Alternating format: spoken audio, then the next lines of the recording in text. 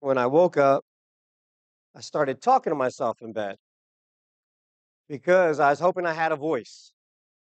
Uh, I, I wasn't so sure I would wake up this morning and be able to have a voice that's clear. It sounds pretty clear. Do I sound pretty clear? Everyone doesn't sound like a frog is in my throat. So, uh, starting on Friday, what happened? I had a, a great breakfast uh, w- with a friend. I drank three cups of coffee on Friday morning and then had the brilliant idea of running hills with my oldest son, right? It's football season. He's trying to be in shape, trying to get in shape, trying to work out. So I said, yeah, let's go run some hills, right? The way we used to do it. Sprint up the hill, jog down, or walk down. Sprint up the hill, jog, right? So we go to uh, Kids Castle. Everybody know Kids Castle? And that big hill, we're sprinting up the hill. So the first one, I smoked him. I could still smoke him. I beat him. I gave him a head start and everything, Tony, and I still beat him. Right, Zach? Don't feel bad, Zach. You'll get there. You'll get there. Then he beat me on every other hill, right? Because I was so tired. I so the second hill, he beats me, but I'm jogging. By the fourth hill, I feel this burning in my chest. I start getting cold sweats, and that coffee's coming up on me. I could barely breathe and everything. So I had to sit down, and then I threw up twice, guys. That's how bad. That's how hard I was trying to go. Will, you know, that's how hard I was trying to go. So I threw up twice did my last hill in because I was like, I'm doing at least five. So I did get my last hill in, but I walked up that one. But for my pride, I had to get that last hill, DJ. Right? So do that. Then yesterday was soccer day, right? So Timmy's team is in the playoffs. JD's team is in the playoffs. I'm from New Jersey and I like to yell, Tony. So I'm coaching Timmy's team and I'm yelling the whole time, right? The whole time. Then go to JD's game later on, and I'm yelling the whole time on that one. So by last night, I'm like, I don't know if I'm going to have a voice. It was all scratchy, messed up, but I drank a lot of water. I did what I was supposed to do. And so I'm so grateful to be able to talk this morning because I wasn't sure what was going to happen if I couldn't, right? But life is just crazy and it's busy. Who else here is busy all the time, right? It's busy all the time, regardless of the season, whether you're young right? Some people be like, oh, when you're young, you know, you, you, you don't have kids, you have plenty of free time. You know, do, do you have a lot of free time, Daniel Grace? A little bit subjective, right? Right? When, when you're young, I know Brittany and I used to be busy all the time because we would choose to do stuff, right? We would always have something to do. You have kids, it gets busy. And then some people say in retirement, you have plenty of time, right? Yeah, maybe you have time to choose what you want to do, but you're busy, right? Life is always filled with being busy, right? And that's just our own individual lives, right? The world is crazy and busy all the time, right? We talked a, a couple weeks ago, we had a prayer service related to these major events, Hurricane Helene. That is a crazy thing, right? A hectic thing that's happening in the world, right? Please remember to pray for victims. We have Israel Hamas war going on, right? When you look at the things going on across the world, it can be overwhelming right? There's just so many different things to look at and focus on, right? Just so many different things, right? And still, still, the the war in Russia and Ukraine is going on, right? All major events that we're hearing about. Some of them less now, but they're still happening. But we're hearing about these things all the time, right? It could be anxious and and, and have people, you know, thinking great about some things and, and, and worried about other things. And then we have the election coming up, right? And depends who you talk to. If one person gets elected, our country's ruined. And then if the other person gets elected, our country's ruined, right? Right? No matter what happens, the country's ruined for somebody, right? And, and, and there's worry and, and, and anxiousness and all these things, right? And then, you know, you could, at any given moment, you could have one of these uh, types of feelings. you can feel good. You can be like, oh no, it's horrible, angry, right? Exasperated, or just darn tired, right? Just darn tired. So today, in this message, I just want to remind us all that God is still on the throne. Regardless of what happens, right, in these elections, regardless of what happens, if I lose my voice or not, right, God is still on the throne right? God is on the throne. Actually, a couple years ago, I lost my voice right before I was supposed to preach. I couldn't talk. I literally was a whisper. And I had a guest speaker. I was actually going to inter- interview a missionary that morning, but I couldn't talk. So the missionary gave the message, right? God is on the throne. He is in control, right? So today we're going to look at a couple questions. We're going to look at a couple scriptures and contemplate a couple questions for our individual lives, right? First, I want to look at Psalm 47 7. Right? It says, For God is the King of all the earth. Sing to him a psalm of praise. If the Blues get elected, is God still the king of all the earth? Right? I, I don't think some people are, are, are, are, are confident in that message. Let's try that again. If the Blues get elected, is God still the king of all the earth? Yes, God is still the king of all the earth. If the Reds get elected, is God still the king of all the earth? Yes, amen, right? Regardless of what happens in your life, personally, politically, natural disaster, war, issue, famine, God is the king of all the earth. So you should feel good about that. You should feel encouraged about that, right? That should bring you great joy and also bring you great peace. God is king of all the earth, right? So, do our words and actions reflect someone who belongs to the king of all the earth, right? Are we people who are you know, doomsday, this and that, and everything's horrible and it's going down the drain, right? Or are we folks that glorify the king, that praise the king, right?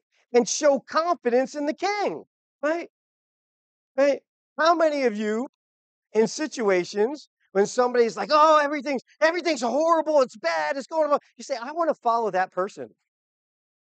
I want, I want what that person has in their life, right?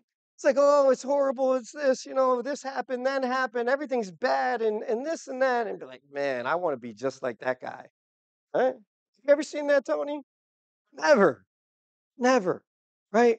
Our words, our action, our life, regardless of the circumstances, should reflect who is the king of all the earth. And do we belong to him or not? Because if we belong to him, we trust in him, he is our Lord and our Savior, right? We can have confidence, we could have joy, we could have peace, we could have happiness in any and all circumstances. If you were praising God more in your life, how would it impact the people around you? Right? how would it impact the people around you? When folks come around you, are you somebody who's complaining a lot or are you giving glory to God? Are you counting your blessings, right? I'll tell you, for me, I've, I mentioned this story many times over my pastorate, and I'll mention it again today. When my wife, Brittany, had the five inch tumor on her heart, and we were going through that process in the medical facilities, talking with doctors and nurses. She was constantly praising God. She was constantly, she'd have, you know, like being in medical facilities is a nasty thing. I go visit people a lot, right? And is it, it, it, a lot of times people don't get care and they get treated poorly. I'll tell you, doctors and nurses would stop by Brittany's room, right? just to get a pick me up during the day. Because she would always smile and say, Thank you, God bless you, you're so fantastic. And this woman has two young kids at home, right? Who she's worried about if she dies, I have to take care of these kids. Give me, right? She and she's praising God with great joy and happiness, right? Uh, just an illustration of how your demeanor and your praise of the Lord can impact people around you, right? And then where in your life do you have to do a better job of singing a psalm of praise to God, right? Where in your life do you have to do a better job? Because all of us have those circumstances. It might be in your house, Right? You could have the personality where when you go outside your house, you're bubbly, you're happy, and everybody likes you. But at home, you give everything outside, so at home you're miserable. Right? There's people like that. Right? There's people like that. It could be at work. Right? You're at work and you're miserable. You're unhappy at work, so you're complaining, right? Coworkers don't want to work with you, right? There's so many different aspects. So I want to encourage each and every one of us to contemplate where in our life do we need to do a better job of praising God for what he is doing in our life, right? And it might be a really difficult time, right? We've all, anybody who's lived for a number of years have been through difficult times, right? But when Jesus Christ is our Lord and Savior, we can always give thanks for Him conquering sin and death on the cross, right? We can always sing praise and glory to God, right? For God is the King, all the earth, sing to Him a psalm of praise, right? I want to encourage each and every one of us to do this because no matter what happens, God is still on the throne. Amen? Habakkuk 3 17 and 18. It says, Though the fig tree does not bud, and there are no grapes on the vines, though the olive crops fail, and the fields produce no food, though there are no sheep in the pen and no cattle in the stalls, yet I will rejoice in the Lord. I will be joyful in God, my Savior. Right? Oh, man. Right? Think about that devastation. That's like, that's barren right? There's absolutely nothing, right? Back it says there is, there's absolutely nothing, right? There's nothing going on, right? Well, but in Habakkuk it says there's absolutely nothing. I have nothing, but guess what? Don't worry and be happy with God, right? I will praise God with absolutely nothing. Who's this convicting to? Does anybody feel convicted? I feel convicted. Oh man, two of us? Oh my goodness, right? Oh my goodness. How are we when we have absolutely nothing? Right? Do we feel sorry for ourselves? Do we lament and complain? Or are we praising God and giving glory to God? Right? When things are not going how you want, how do you react? Are you reacting the way that God wants you to react? Are you saying the things that God wants you to say? Are you being the person that God wants you to be? Right? Or are you being like everybody else who doesn't have God as their Lord and Savior? Do you count your blessings when things are scarce? Right? No matter what happens, we have blessings to count right? One of the greatest sins of the Israelites after they were freed from slavery in Egypt is complaining in the desert. They were just freed from slavery. They were provided manna, right? They were they complained about food, so they were given manna. Then they complained about manna, so they were given quail. Then they complained about quail, right? God is blessing us all of the time. You might not be where you want to be, right? And that's okay. It's, oh, uh, it's good to understand and recognize that you're not where you want to be, right? Or you're not where God wants you to be yet. This might be a season of in between, right? But regardless of what happens, no matter how barren things get, how much nothingness you have in your life, right? We can praise God.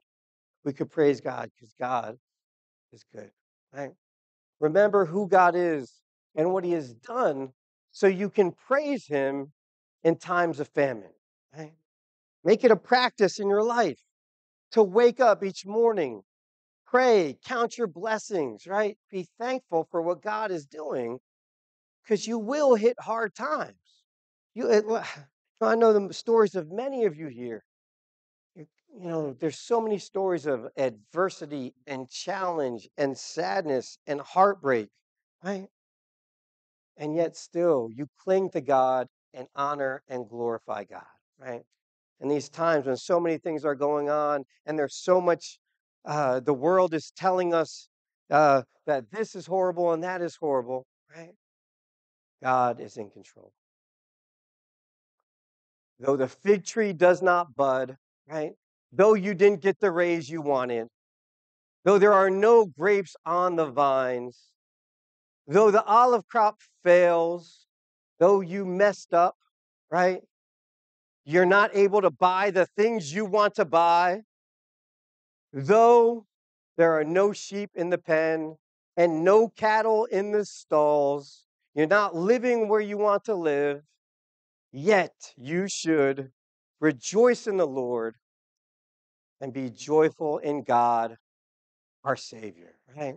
Though the fig tree does not bud and there are no grapes on the vines, though the olive crop fails and the fields produce no food, though there are no sheep in the pen and no cattle in the stalls, yet I will rejoice in the Lord. I will be joyful in God, my Savior, right? When we're joyful in God,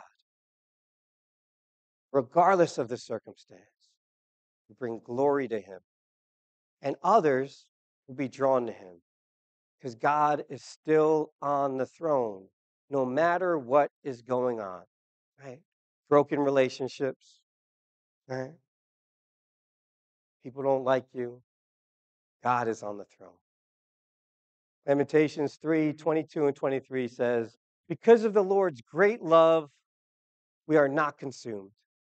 For his compassions never fail, they are new every morning.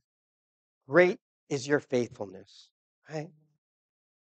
What are we getting consumed with, right? So often, people get consumed with certain things, right? Right now, so many people are consumed with the elections. Yes, vote, register to vote, vote biblical values. Yes, participate, tend the gardens that God has placed you in, right? Do not neglect the responsibilities that God has given you. Go to work, show up on time, you know, do these things. But because of God's great love, we are not consumed by anything of this world. What should we be consumed with? We should be consumed with the Lord, right? We should be consumed with doing what God wants us to do. That should be our focus. That should be our intention, right? I t- um, talk to people all the time. I say, one of the things that uh, really just helped Brittany and I recognize that we should get married is that both of our desire was to fully honor and glorify God and do whatever God wanted us to do, right? We both wanted to be consumed by the Lord. We want to be filled by God and fill our lives with things of God, right? Work is good. Work is a blessing and a resp- like a responsibility that God has entrusted to us with, right? But we shouldn't be consumed by work, right? Family is good, right? But everything needs to flow from our love of God, right? His great love for us. And by that, we then go forth and do the things he calls us to do, right? Every morning, every morning, God gives us new compassions, right? Or, or, or, or like refills our compassion, right? Towards us. Every morning, God is faithful and blesses us. Every day that you have breath is a day that you should give thanks and praise to God. So, what are you letting consume you? That isn't of God, right? What is, what, is distracting you from God? What is making you uh, not the person that God wants you to be, right? There could be two actions that are very similar, right? But one is done with the wrong focus, right? The wrong intention, and therefore it's sin. Where the other is done for the love of God and for the glory of God, therefore it's good, right? And only you know that, right? Uh, through the Holy Spirit. When the Holy Spirit fills you, He will convict you and let you know when you are open to that. Don't be so prideful and arrogant to always assume, right, that what you're pursuing is what God wants you to pursue, right? Do you praise God for His renewed compassion toward you every morning, right? Talk about compassion, uh, uh, God's grace and His mercy, right? When you wake up, are you reminding yourself of these things? Or reminding of yourself of the things that God has done for you? Right? You need to remember God's faithfulness and be filled with praise and joy. Right? Anybody who's here today has been through something right, has experienced God's faith, faithfulness, his joy, his compassion, right? Remind yourself of what he has brought you through, regardless of what you are in. Remind yourself of what he has brought you through, regardless of what you are in. Because the Lord's, because of the Lord's great love, we are not consumed, for his compassions never fail. They are new every morning. Great is God's faithfulness. Amen. He's on the throne. Do not forget that God is on the throne. Psalm 20, verse 7 says, Some trust in chariots and some in horses, but we trust in the name of the Lord. And Psalm 44, 6 and 7 says, I put no trust in my bow. My sword does not bring me victory, but you give us victory over our enemies. You put our adversaries to shame, right? It's so easy, right? I know many of you, you're very talented people. You have so many gifts and abilities, perseverance and toughness, right? A lot of people here in the Northeast, like, we're tough people, right? We're tough people. You got to be tough to get around the Northeast, right?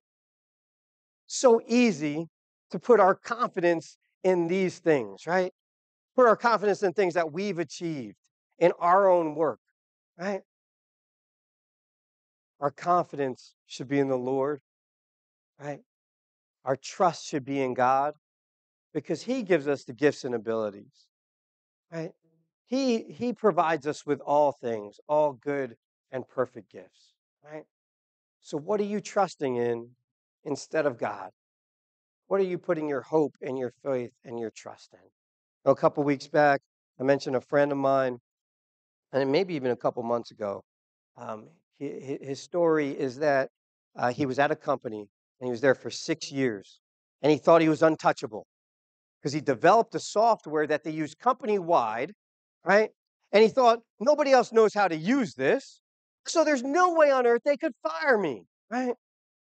And one day, got called into his manager's office and he was fired, right? And when I was talking with him and he's going through this difficult time, he said, You know, I know God wants to teach me something in this time because whatever lesson he wants to teach me, I don't want to have to learn again. Okay? He says, I don't want to have to learn this lesson again. So I want to, I want to understand what God's doing. He was out of work for about six months. A couple months in, uh, he serves a, a, as a leader in his church.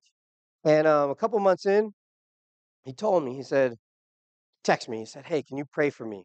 Somebody I thought I was really good friends with actually doesn't like me at all. And he said, It's really thrown me off because, uh, you know, I thought we were good friends and everything. And so they don't like me. So he goes and works through this. And I had breakfast with him about a week and a half ago. He said, What I learned through this situation, and I asked him, I said, What did you, he, he has a job now. Praise God. He has a job where he's making about 30% more than he was making at his other place. He said this job is perfectly formed for him. He doesn't have all the skills that's needed, but he has the space to learn and grow. And also, um, uh, they, have given him some autonomy to be able to do this. So he's actually forming things. And he says it's like the perfect job for him. And it's challenging, right? We should like challenge. And so uh, I, I said, So would you learn through all of this, right? He said, I learned that I can't trust in myself. I need to trust in God. God gave me that other job. God gave me this job, right? I thought everything was perfect. I thought I was untouchable, and I wasn't. I thought that, you know, uh, uh, this I had this relationship, and I didn't. I was trusting in myself, and my perception was wrong. So I need to trust fully in God, right? What are you trusting in? instead of God? Is it yourself? Is it money? Is it other people? Right? A lot of times we can trust in other people instead of trusting in God. When you have victory, who are you giving credit to? Right? Who do you give credit to when things go well? Give credit to yourself, give credit to other people, give credit to God, right?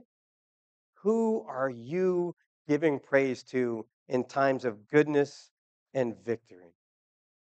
And finally, remember that it is God who gives us victory. It is God who gives us victory. We should not trust in horses and chariots, right? But in the name of the Lord. We should not trust in things, but in the name of the Lord, right? We should not trust in power, right? Bow, sword, right? Power or skills, but it is God who gives us victory. Amen? God is on the throne. God is on the throne. And finally, Exodus 15 18. The Lord reigns forever and ever, no matter what happens. The Lord reigns. God is in control. Right? God is in control. Trust in Him. Lean on Him. Draw close to Him. Remember, it is God who reigns forever. If Jesus is your Savior, you have ultimate victory. You have something to be joyful of, grateful for, and hopeful of. Right? The day of being with Him. Right? In Christ, we have eternal life. In Christ, death is conquered, sin is conquered. So we have great joy. And no matter what happens, God is still on the throne. Amen? God is on the throne. So don't worry and be happy with God. Let me pray. Heavenly Father, we give you thanks and praise that regardless of what's going on, we could be joyous in you. We could be thankful for you. We give you so much thanks and praise, O Lord, for the good gifts you have bestowed upon us in the past, in the present,